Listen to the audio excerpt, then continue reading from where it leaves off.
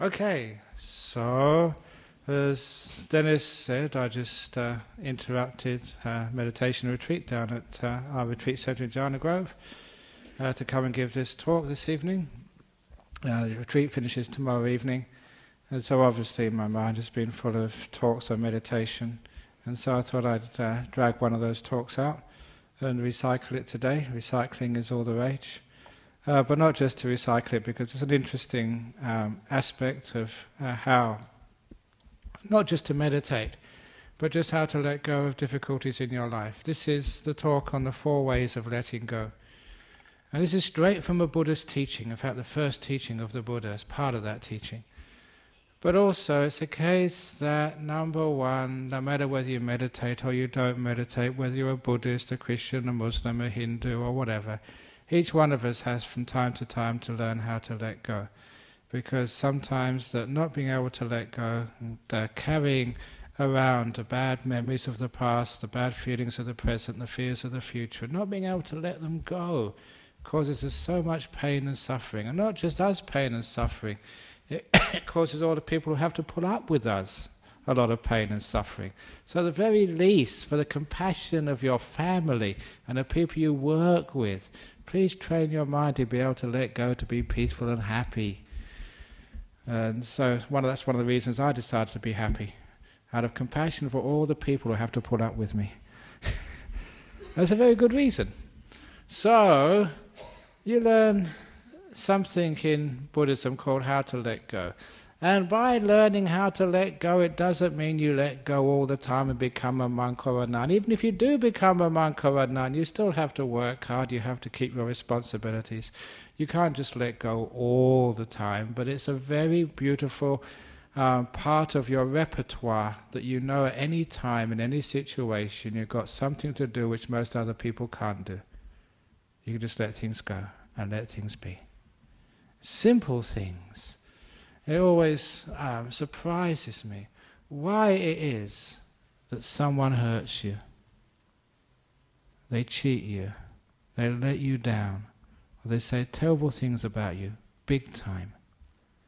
Why can't you just let it go? Because if you don't let it go, that person continues to hurt you, continues to harm you. It's a really weird thing, isn't it? They've hurt you once, and because you attach to it and carry it around, they hurt you again and again and again and again. Every time you think of it, they're hurting you one more time. When you look at it that way, it's totally unreasonable, illogical. One of the most foolish things you could ever do is to get angry at someone who hurt you. Because when they hurt you, and you get angry, they're hurting you twice over. So someone hurts you. Can't do anything about it. Let it go. It's gone. You let it go, and they can only ever hurt you once. And then you let it, let it go. So easy to do when you realize how you let these things go. Not only that, sometimes we have all these fears of the future. I don't know, some of you probably, if you haven't yet, one day you go to doctor and say, You've got breast cancer, You've got prostate cancer, you've got lung cancer, you've got some sort of cancer. There's a whole variety of cancers now, just like the whole variety of muesli. When I was young, you could only get one brand. So this is the choice you have these days. So when you have any of these diseases, what do you do? You worry yourself sick. You're already sick enough, and now you worry yourself sick even further. It's a totally daft and stupid thing to do. So, why can't you let go of the future? Enjoy this moment. And as I said, I actually never said that this evening. It's strange. I used to say this every week in meditation. Where is your future made? When is the only time you can do anything about your future? Right now. This is the place your future peace, health, and happiness is being constructed. So every time you worry about your future, oh, what's going to happen to me? I'm going to die. You're actually neglecting the place you can do something, which is right now. So if you can just make peace, be kind, be gentle, if you can let go of the future and the past and just be now, you're going to be a very healthy, happy, successful person. And people sort of do bad things to you, just let it go. Why should I allow those people to control my happiness? Or, as one of my favorite sayings goes, you know, you get these um, calendars. You used to get the calendars, we run out of them. Every year, the Buddhist Society uh, makes a calendar. And they try and put some of Ajahn Brahm's sayings on that calendar. And the one saying I like the most, which never gets on that calendar, is this one Why seek for revenge? Because you know that karma will get the bastards anyway. I don't know why that never gets on the calendar. But it's a good one, isn't it? You don't have to do anything. Karma will sort it out. Leave it alone. You let it go. The trouble is, we all know it's reasonable thing to let it go. It makes a lot of sense, but you can't do it. Which is why we teach the four ways of letting go. Instead of saying let go, how do you let go? Tell me how to let go. And now the Buddha is going to tell you how to let go with the four ways of letting go. The first way of letting go, it was uh, starting off with an old experience with my teacher Ajahn Chah a long time ago. He was, we were walking back from alms round, and the great teacher, they always find an opportunity to sort of, you know, give you some teaching. But not these teachings with so many words and big concepts. Just simple, down to earth teachings, which once you hear, you think, crikey, that's really good and you remember it, and it changes much of your life. What he did on this occasion, walking back, he picked up a stick. There's forest all over the place. Picked up a stick and turned around and says, Brahmavamso, is this heavy? Is this heavy? Not now. I was very careful I didn't throw that too far and wonder what I was going to bust. it's only heavy when you hold it. But if you let it go, it's got no weight at all profound, simple, and unforgettable. So, what heavy things have you got in your life right now? Job, cancer, relationship problems, money problems. Is that heavy? It's only heavy when you hold it. So, why on earth can't we let it go? Why can't we throw it away?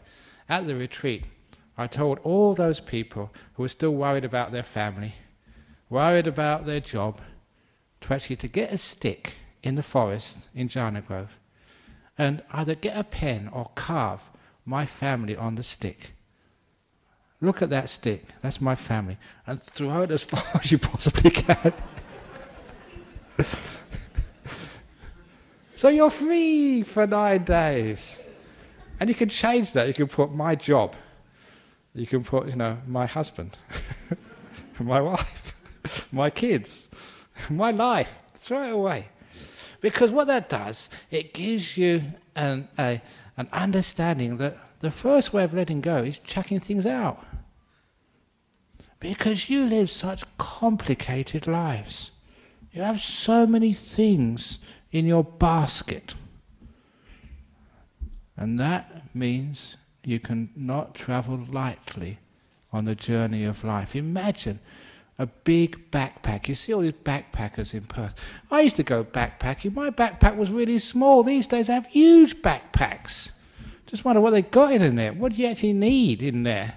Probably got their computer and their, they didn't have computers in those days. Just go to a box as a phone if you want to read. You don't have to have your own phone, but you have very light in those days. They get big backpacks. Imagine you've got a big backpack on and it's really heavy. It's full of all these, not just clothes, but rocks, heavy granite rocks. And you walk through life with this, and you just don't know how to take it off and put it down. You're going to get very tired. You're going to get very sick.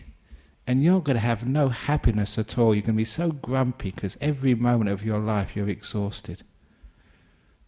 Do you feel exhausted? In your mind? Why? Because you've been carrying too many things in the backpack around your mind. So we actually look in that backpack, what can I throw away? And this is the first way of letting go. See what you can jettison, see what you can throw away. It's amazing. You can throw away many, many more things than you could imagine. And nothing goes wrong. If you throw away all this concern about your future and past, actually nothing goes wrong. That's the first big stone to get out of your backpack and throw away. I don't know about your history. Has it been a good history or a bad history?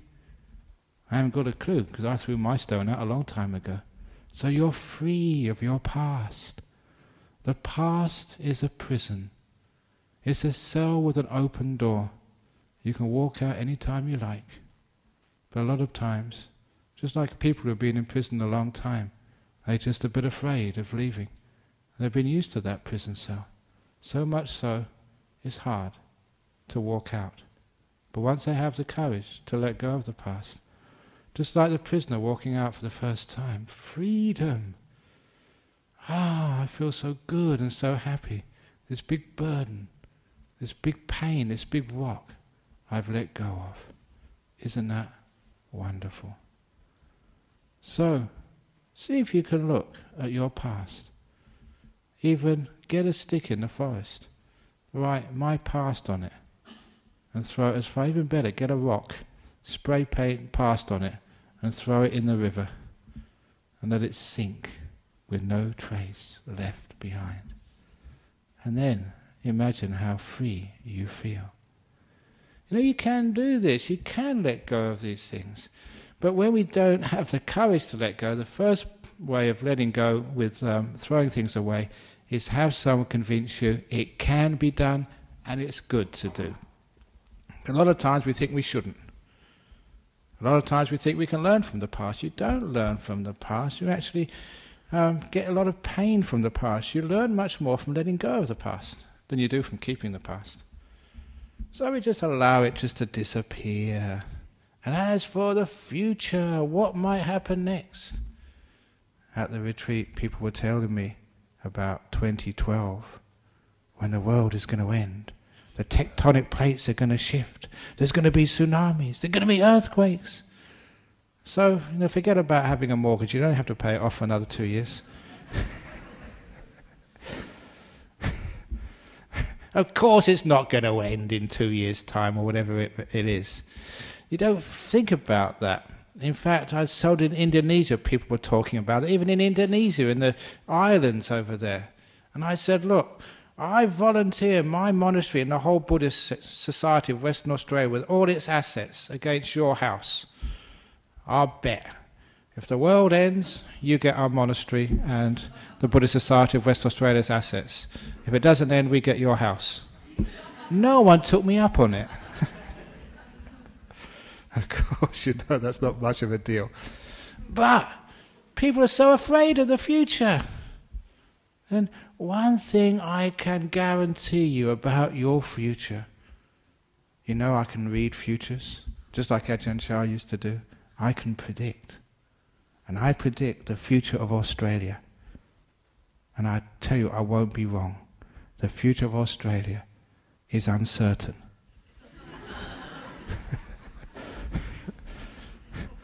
That's not just a joke that actually shows you that you cannot know what's going to happen next. Any time in your life, you just know, you don't know what's going to happen. Your life has been so surprising. It's gone in, in directions you could never have predicted, each one of you. And that's just the uncertainty of our life. So let go of the future, throw it away. So, what we're doing is we're letting go by throwing things out, seeing what we can jettison, see what we don't really need on our journey. And then next thing you can do is throw away this complaining mind. Look, dogs are barking again. How many times do they bark? Should we do something about these dogs? You can't. You know, that's what dogs do. They bark. That's their nature. So throw away all this complaining. Thank you. No. I've finished now. You can stop barking, dogs. Same as your husband. Sometimes you want to throw your husband away. That's what husbands are like. That's what they do. That's what wives do. That's what kids do. I was on these aircraft, many aircraft flying all over Indonesia, and they always have these kids. Bah, bah, bah, all the time in the aircraft. And sometimes I think, can we not open the door and throw them out? But I can't do that because I'm compassionate monk. but instead of throwing the baby out, what you do is you throw your complaining out the window. Stop complaining. Let go of that. So I look at my mind, and you've got this what we call fault finding, complaining mind. You know what that type of mind is. That fault finding, complaining mind can drive you nuts. There's always something wrong. Buddhist society, there's always something wrong with this place. Like today, we didn't have the right tea. I mean, that's not, that's not good enough. If it's not the right tea next week, Dennis Shepherd, President, I'm not coming ever again. no, of course you don't think like that, because that's just a complaining, negative mind. And it doesn't get you anywhere. Even if you do get the right tea, someone will drink it before I get to it, so who cares? So the point is just let go of your complaining mind. Throw it out. Has that ever got you anywhere? And you look at that complaining mind, it just drives you nuts and makes you a really terrible person to live with. So there's nothing else. You can see, I don't want this. Literally, throw it away. It's as easy to do as that. It's letting go of the negativity. And letting go of all this stupid thinking we do. Not only the negative thinking, but even some of the positive thinking. Because we think far too much, and that stops us getting any peace in life. Whenever you're thinking about life, you can't enjoy life. You're just listening to the commentary. You're reading a book about life, the thoughts and ideas in your mind. You're not really enjoying the real thing. That's why there's this old simile, it's an old meditation story of Lao Tzu. Every evening he would go on a walk and he'd choose one of his disciples. Only one could go on a walk with the great master. There was a golden rule. If you went on a walk with the great Taoist master, you had to be quiet. You weren't allowed to speak, not even one word. One day this young man was going on a walk with the master. And they got to a ridge in the mountains at sunset, and it was one of these amazing, gorgeous sunsets. And the young man couldn't help himself but say, Wow, what a beautiful sunset. He broke the rule. Lao Tzu turned around, went back to monastery, would never allow that young man to go on a walk ever again. And the young man's friend pleaded for him, said, Look, it's only one sentence. Give him a break, cut him some slack. What's a big deal anyway of keeping silent? And that's when the Master said this very profound explanation. He said, When that young man said, What a beautiful sunset, he wasn't watching the sunset anymore. He was only watching the words. He wasn't watching the sunset. He was only watching the words. Now that's actually very deep. Every time you think, what a beautiful sunset. You're not watching it anymore. You're watching the words. And so much of us, we just watch words. That's all our life is, just words. It's divorced from real life. We don't feel, we don't see, we don't hear. We just live in what we think we hear, what we think we see, what we think we know. So it's a great thing to be able to throw out all that thinking. And you get peaceful at life at last. You don't have to do this all the time. Just every now and again, learn how to throw it out. I told a story a long time ago about my mother's mantel shelf. She's an English woman. She, well, she's in a home now. She's very old, but in her house, like many English people's house, they had a fireplace, and above the fireplace they have mantel shelf. And on that mantel shelf, they keep the knickknacks, the mementos, the photographs, and all the things which you know, bring back happy memories. And so that one day, I'd just been in Australia for a few years, and I went to visit my mother, and so I brought her a gift. And what sort of gift do you bring? Someone gave me a stuffed kangaroo. You know, a little fluffy toy, really cute. So I brought that back and gave it to my mother, and she liked it very much. She put it on her mantel shelf. Next time I went over there, someone managed to get me a, a koala. And so I took that back, and she said, Oh, it's so beautiful. Every time I see this, I can re- remember you in Australia. So she put it on her mantel shelf next to the kangaroo. The next time, I managed to get a kookaburra. The time afterwards, a platypus. And the fifth time I went, I managed to get a wombat. the trouble was, the wombat was so big, she tried to put it on the mantel shelf, and all the other ones fell off. And she spent about an hour trying to balance it on her shelf and everything else fell off.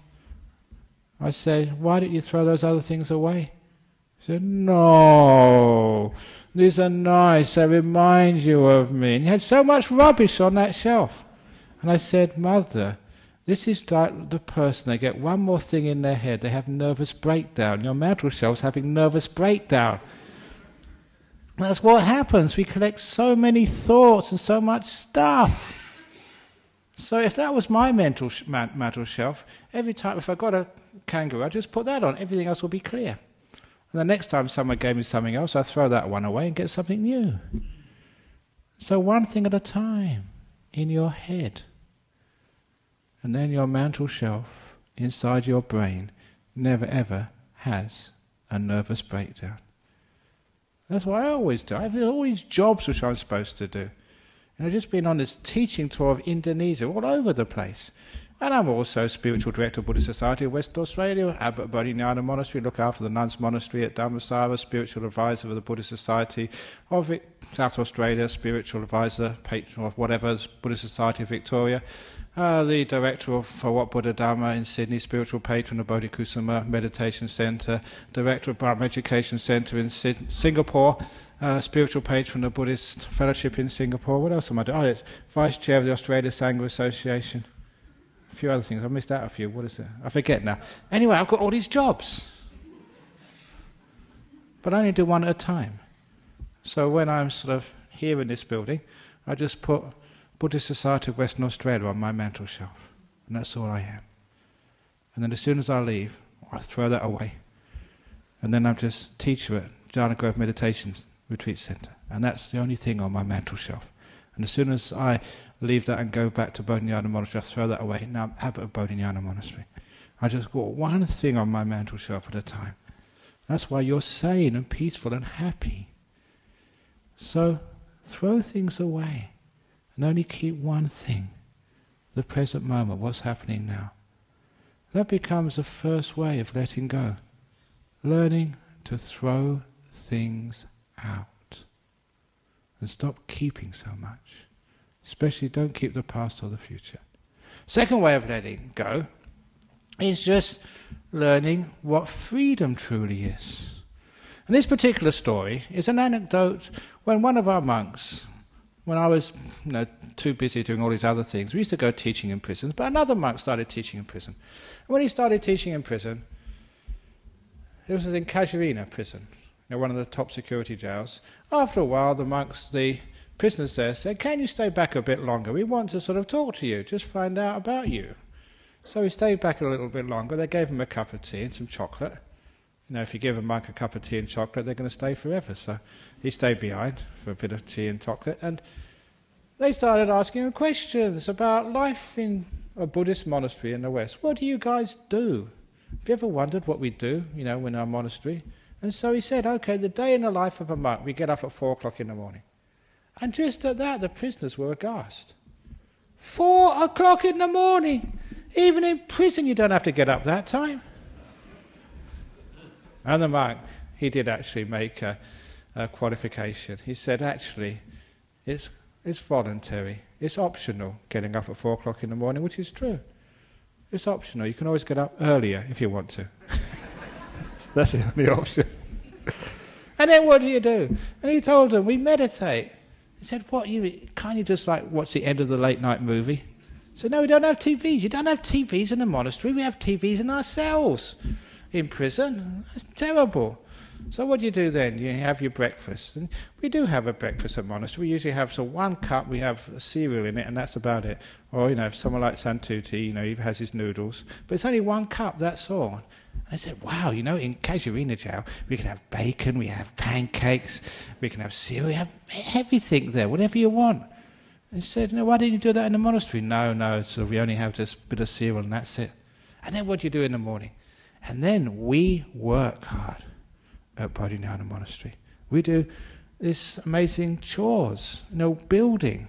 And even I do that. You know, if you go down a retreat centre, just, we're doing this ramp, and I was spending two days cutting the bricks. You know, this huge angle grinder, really heavy work, getting myself all dusty.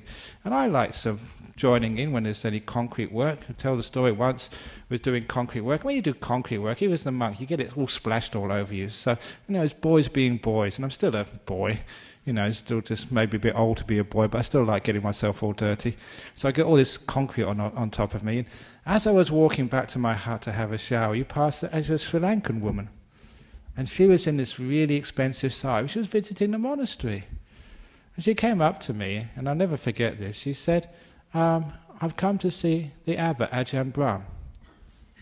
And I was thought very quickly, and I said, um, Madam, if you go to the, the hall over there, he'll probably be there in about 15 minutes. that was enough time for me to go to my room, get a shower, and get changed into some clean robes. And so I went up to the hall, and there she was waiting. And I said, Oh, I'm Ajahn Brahm. You know, she never recognized me. That's how dirty I was. And I gave her a nice talk, you know, about the monastery and about Buddhism, what we were doing here. And she was really impressed. And so just before she left, she said, You know, you've got a really good monastery and you're a really good monk, but if you don't mind me saying this, I just as I saw this really dirty monk when I came here, and I think you should do something about that. I said, I'll talk to him later, ma'am. Which I did.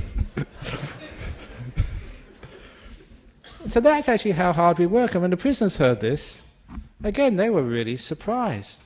Because, yeah, I mean, in prison you have to do jobs, but I mean, they really take it easy in those jails in Australia. They said they'll never get us to work that hard. And they said, then you have your lunch. Yeah, we have our lunch. We have it, you know, you've been to, many of you have been to a monastery, we eat it out of a bowl. Everything goes in one bowl. You know, sometimes it's true you do get curry on spaghetti. No, sorry, I got that wrong. You got custard on spaghetti, that's right. Have you ever had custard on spaghetti? Why are you saying yuck for? You've never eaten it. But actually, you're right, it is gross.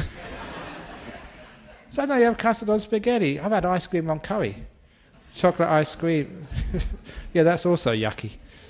Because, you know, you put it in your bowl, and for me, because I'm the senior monk, I put it in the bowl myself and I give it to somebody to take up because that's their duty. And by the time they're not really careful, they shake it all over the place.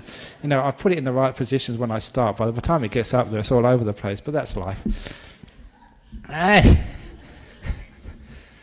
And, they were saying that sort of in prison, actually, even in, when you go to solitary, you get a tray. You know, the, the custard is here and the spaghetti's over there. It's separate compartments. Don't you have compartments in your bowl? Have a look at our bowls. We don't have compartments. It all goes all over the place. That's, that's disgusting. So what do you do in the afternoons? You say, we meditate. So, you know, can't you sort of, you know, play some music? or sort of you know, play a game of footy or something. No, we're not allowed to play footy. We just meditate all afternoon. So I didn't get bored. So no, what's what I'm supposed to do? I suppose you hang out for dinner. Dinner? We don't have dinner in our monasteries. We just eat in the morning time. There's no dinner. So, or even in prison, they give you something to eat in the evening, and you have snacks throughout the day, whatever you want.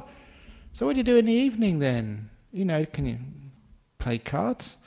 you know, play Monopoly or something, pass the time? And he said, No, we can't do that. Don't tell us, they said. You meditate, don't you? Yeah, of course we do. Oh, God. That must be terrible. Then what time do you go to bed? And the monk said, Bed? Bed? We don't have beds. I sleep on the floor. they were absolutely disgusted. Even in prison, they put you in a little cot with a mat- mattress on top. Not in our monastery, I sleep on the floor.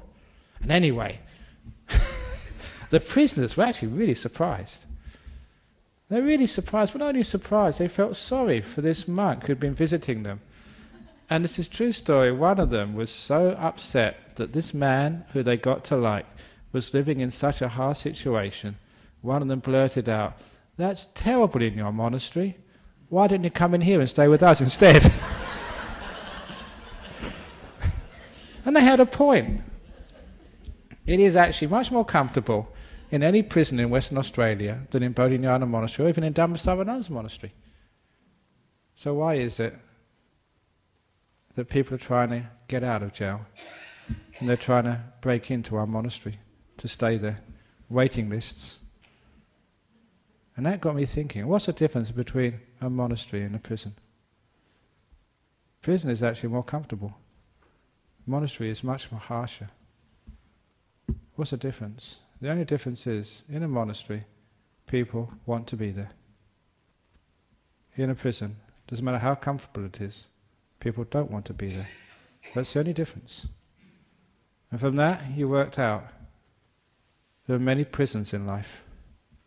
And I saw the many prisons I'd made for myself, and the many prisons other people continue to make for themselves. Any place you don't want to be, that's your prison. If you don't like this talk, and you're thinking, when's it going to end? This hall is your prison. You don't want to be here. If you're in a relationship which you don't like, your relationship is your prison. You don't want to be there. If you're in a job which is not giving you any satisfaction, another prison for you. Even in a body which is sick, you don't want to be here, your body is now a prison. Any place you don't want to be is a prison. However, it's a very easy way to escape from those prisons you make in life. You don't need to change your husband, your wife. You don't need even to change your job. You don't even need to get better with your sickness. All you need to do is to change your attitude and want to be here. When you want to be here, you're free. It doesn't matter sort of how painful, uncomfortable it is. As long as you want to be here, then you are free. That's called contentment. It's the second way of letting go. I want to be here, wherever here happens to be. And that's one of the most powerful attitudes, especially when you're meditating, and also other times in your life. When you're meditating, doesn't matter what you're experiencing. You can be dull, sleepy, restless, thinking all sorts of weird things in your head. But if you want to be here, you feel peace and freedom. If you want to be somewhere else, you'll always feel this tension and suffering. The great trick is you don't need to change anything except your attitude and want to be here. Not only when you're meditating, but there are many other times in your life.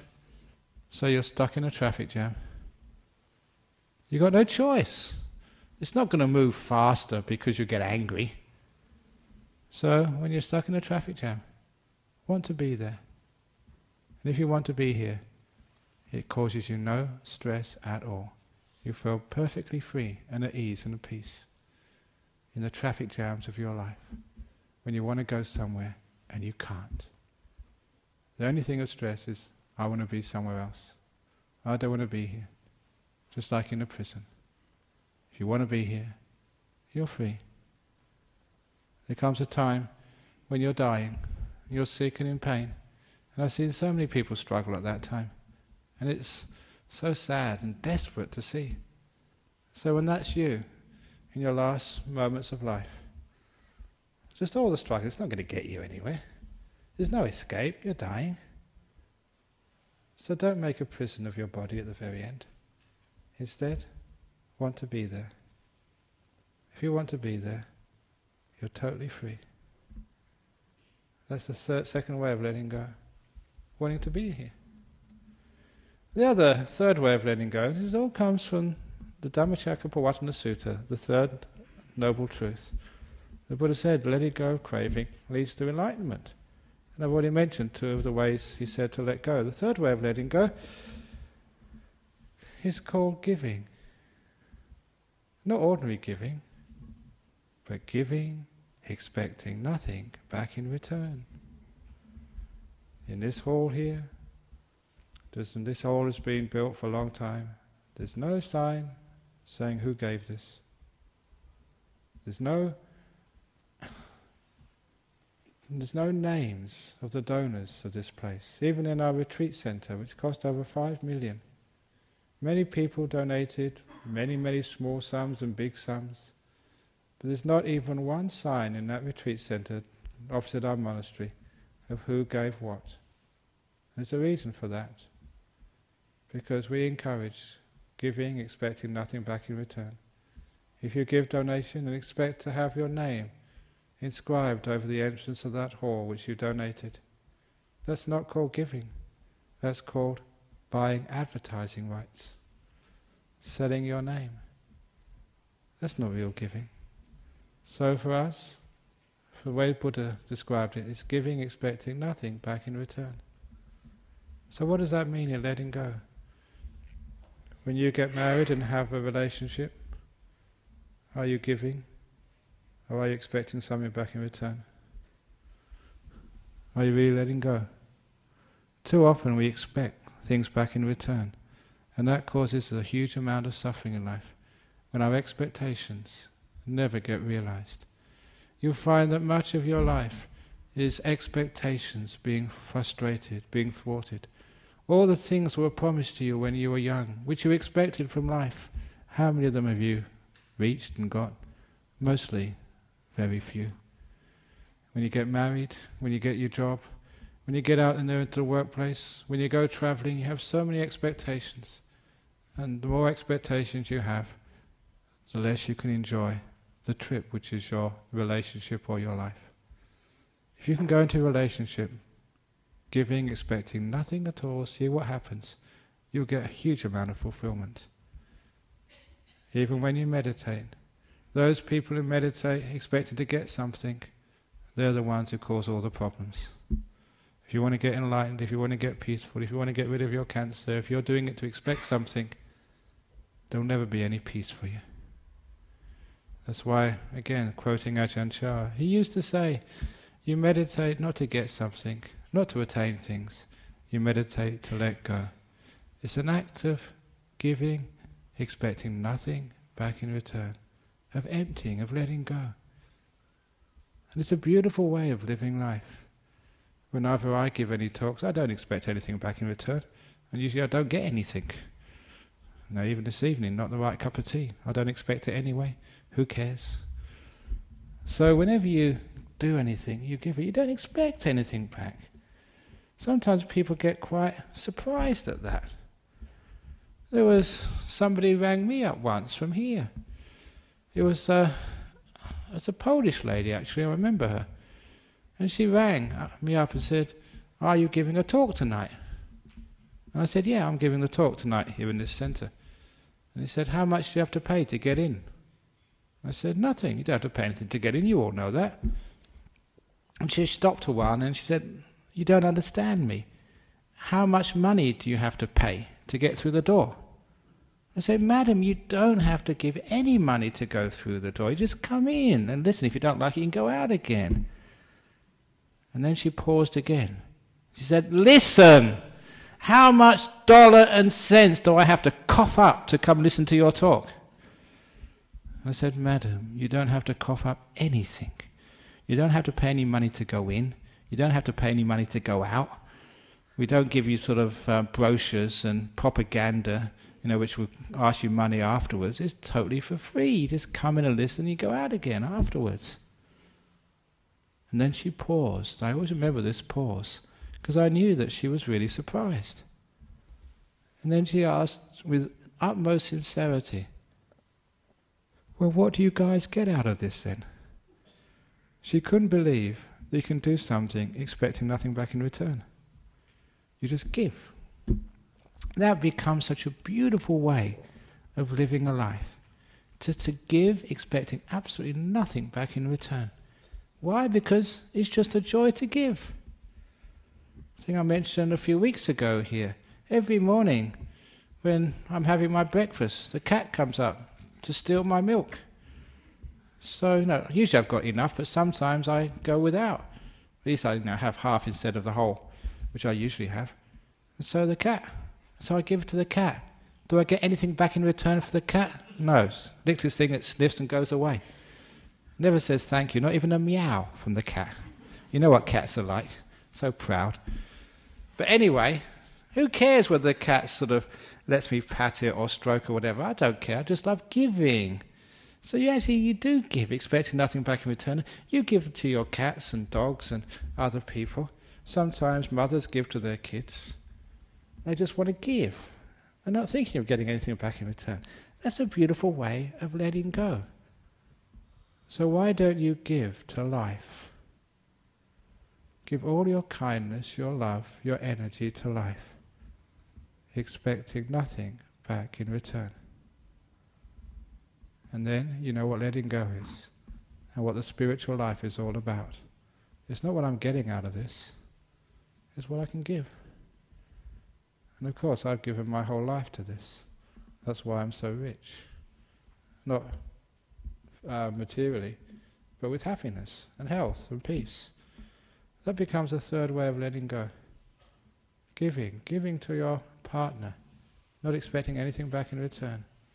Giving to life, not expecting anything back in return. Giving all your energy to this moment, expecting nothing back. It's called the third way of letting go. Just no expectations. When you have no expectations, life becomes so interesting. You're not demanding anything, just life gives you so much. And usually it gives you what you least expect. And you have much more fun that way. You don't anticipate things. All the gifts of life come as a great surprise. I never expected that. Isn't that wonderful? Life becomes far more enjoyable that way. And the fourth way of letting go is called having the Teflon mind, where nothing sticks to it. So you have this beautiful experience now. Don't try and take notes and try and remember what's being said so you can make sure you, you act this way in the future so you can be a better human being. You don't need to try to remember. These things will just stick in your mind anyway. So don't try and collect things and allow things to stick to you. You have this beautiful moment. Enjoy it now knowing it's going to go. So you can be free for the next moment to come. And then let that go too. And all the happiness and the unhappiness of life never stick to you, which means you can always be free for the next moment, not allowing the last moment to influence this one. You just flow through life, and again, collecting no mementos, expecting nothing for the future. Someone says something rotten to you, it just goes right through you. As I say, while we have two ears, if you look very carefully, one says in, the other one says out. So that way we don't need to keep anything. That way, all the, even the happy moments, we can let those go too, because be careful if you keep the happy moments. That gives you so much expectations, so much comparisons, it means you can't enjoy the next moment. Have to let go of all the moments, happy and sad moments of the past. So you've got this mind, this body, this life to which nothing sticks, which means you can always enjoy whatever's happening next not allowing the past to stop you being free in the present. And that especially goes with all your knowledge and understanding. Sometimes when we learn something, it sticks to us and it makes us so, if you don't mind me saying, conceited that we cannot face the reality of the present moment. People with too much knowledge can never understand the truth of now. That's why, one again, one of my other favorite sayings is never allow knowledge to stand in the way of truth. Never allow knowledge to stand in the way of truth. Knowledge is all that you've learned, all you expect to be. Which means when you expect something to be, when you know what it's all about, it means that that blocks you from seeing the truth and the uniqueness of what's happening right now. And too many people even know too much about Buddhism even. So they can never understand it. They can never understand the truth of this moment, what's actually happening right now. They can never be at peace with this moment. They can never be free. They can never have real happiness no matter what happens to them in their life. why?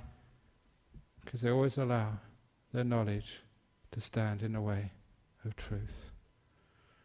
So remember, all the knowledge is just the signposts. It's just the directions. It's not the real thing. And the last simile, an old simile, but a great one. To understand what I mean by not allowing knowledge to stand in the way of truth, there was once a professor of philosophy here in Perth. Yeah?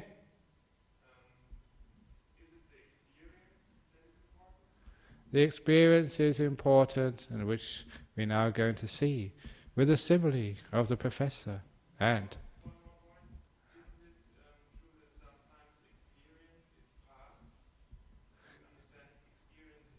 Ah, experience is past is when it's interpreted uh, from the knowledge of your past. In other words, you take the experience and you compare it with something else, which means it becomes limited by the past. To learn, the words actually stand in the way of truth. That's why the, in meditation we learn how to be absolutely quiet, to feel and to know. That becomes the truth. In the same way that the student of Lao Tzu could actually see, didn't see the sunset, only saw the words. And that great Taoist master made a very good comment. That it is the person if they want to see the sunset, they've got to put aside all the words. Descriptions, the words actually block the experience. that's it. Okay, back to the professor. there was a professor who, of philosophy, in the university, whenever you mention professors of philosophy in Buddhism, they always get a bad rap. So if there's any professors over here, I do apologize. It's just our tradition. but this professor of philosophy, he um, found out there was a new five-star restaurant opening in Perth, and he wanted to go there to test out the food. So he made an appointment. He rang up. There was a two-month waiting list. That's how popular the restaurant was. And so, two-month waiting list. He decided to book his uh, place there anyway. And when he booked his place there, two months later, he rocked up at the restaurant. And of course, they wanted to see his ID to make sure he'd really booked a place. And so they checked his ID. Yes, he was uh, booked in. So he went into the, the maitre d' took him to his table. He sat down at the table, and a waiter came. You know, this really well dressed waiters, and gave him the menu. And this menu was in thick parchment. And the menu was written in gold letters and calligraphy. Even the menu was a work of art as you would expect in an expensive restaurant. This is no fish and chip shop. This is a top class five star restaurant. So, he looked at the menu, and then he ate the menu, and then he paid and left. Because the professor had no idea of the difference between the menu and the food. Do you get it? Too often, the menu is one's knowledge. And the food, what you eat, is the experience. Which is why I said, never allow knowledge to stand in the way of truth. So we let go of all of that. Too many people say, but the Buddha said, but Jesus said, but the experts say, but the government says, or whatever. So what? It's interesting, you know, it may be sort of pointing in the right direction. But that's what they said. But what did they mean? Where were they pointing to? And that's the experience which you have. So, by having a Teflon mind, you become this beautiful free mind which can actually see things as they are rather than see things as you're told that they are. So learn how to be free. These are all the ways of letting go little things. I was telling people at the retreat that some, I told a story, an example of this. In the nine years that I was living in northeast Thailand, this was a place where uh, Western culture had not reached. Uh, the countries surrounding Thailand had been colonized, but Thailand had escaped. And whatever Westerners went into Thailand, they were all in Bangkok, some in Chiang Mai, but the part of Thailand I was in, no Westerners had been there. And this is no exaggeration. I went to some villages in, in that place, and I was the first Westerner the villagers had seen. I remember on one occasion going alms round in the morning, and I was the first white man they'd seen in this village. And so they're putting food in the bowl. They're supposed to put it, it's a big bowl, but they were looking at me. And all the food was falling outside, and the dogs were eating it all. Thank you very much. Because I was the first Westerner they saw. But because of that, it was like an indigenous culture which had not been tainted by the West. And it was fascinating to observe that from inside because I was a monk. So, as a monk, you weren't some sort of visitor, you had a place in that social hierarchy. You were in the middle of that social hierarchy, you were not an outsider. so, you were treated like a Thai. You expected to behave like a Thai. And soon you became like a Thai. You saw it with Thai eyes. And one of the things you saw were totally unexpected. Uh, what I was saying at the retreat was in those nine years, the monastery I was staying in most of the time was a cremation ground. So all, all the villagers in the local area use that place for the funerals. So we do the funeral. We see all the villagers, they'd come when they and they bring their dead. We do all the chanting and services. We see them that afternoon, that evening, the next day. And there was something very strange. There was no grief.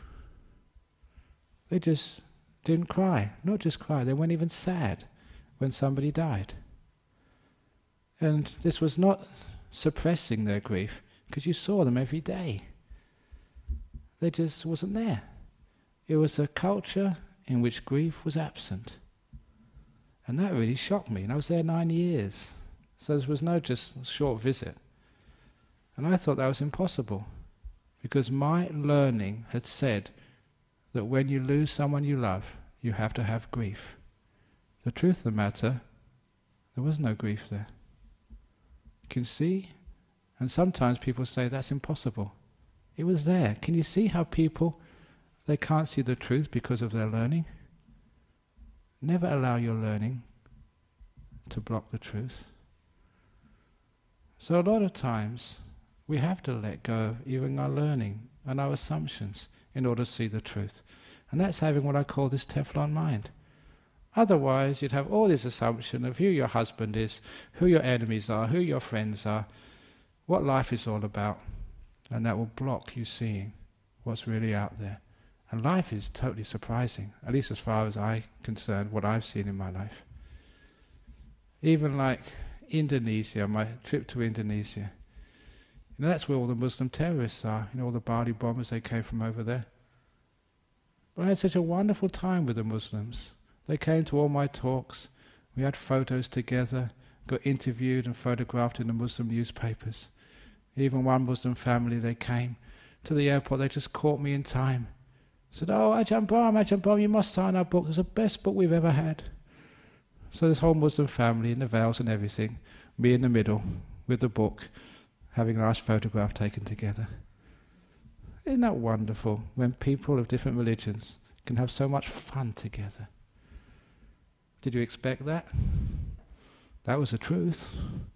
So a lot of times when we think, ah, oh, Muslims, they don't like Buddhists, that's actually what stops us seeing the truth. So remember, just have a Teflon mind. Don't allow these things to stick, because they will stop you from experience the truth. So these are four ways of letting go. And those four ways again are just throwing things away. I'm not talking about throwing your material possessions away, but throwing those mental stuff which you keep, the past and the future, worried about the future, and all this other stuff which you worry about, throw it out. And be simple and be free. Have few possessions. Don't carry so many rocks in the backpack on top of your mind. And number two is learning how to be content. Wonderful having a mobile phone. Isn't that wonderful? So be content that it's ringing. Because it's going to ring anyway. You can't do anything about it. So be happy to be here. That's. Very nice music. Thank you so much. It's very rare that monks hear music, you know, because we're not allowed to hear music. So it's very wonderful to hear this. Thank you so much. So be content and happy no matter what's happening. Number three is actually whatever you do, just give expecting nothing back in return. So I don't expect thanks. I don't expect anything back. So whatever you like this talk, that's your problem. I've just given my talk, I've done my duty, and that's it. So I don't expect anything back in return. I just give because I love giving. I love teaching. I love serving. I love being kind and seeing what, what you need next.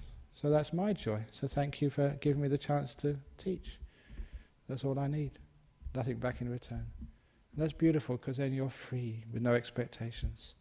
And last of all, have a Teflon mind, which nothing sticks. So don't keep things, especially your thoughts, even your knowledge, so you can be free.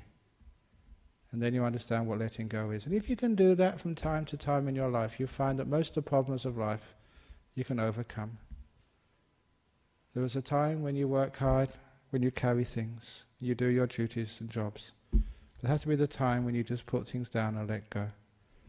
The problem is, as Westerners living in a Western world, or as Asians living in a Western world, we all know about doing things. We're very good at that. But what we don't know is how to put things down, let go, and rest. So that's how to let go. The four ways of letting go. Thank you for listening. Thank you. You know, I never expected that.